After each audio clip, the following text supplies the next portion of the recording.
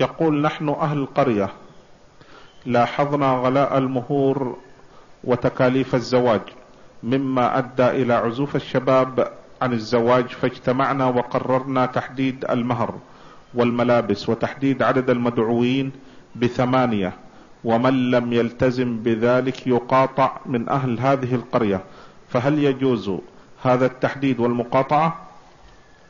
إن كان هذا على سبيل الإلزام فهو لا يجوز. لا يجوز إلزام الناس بشيء لا يلزمهم شرعا.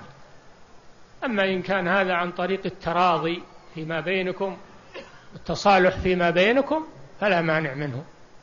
إذا كان الكل راضين بهذا فلا بأس لأن هذا من التعاون على الخير وتسهيل الزواج.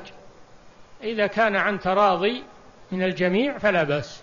أما إذا كان فيه إلزام لأحد فهذا لا يجوز.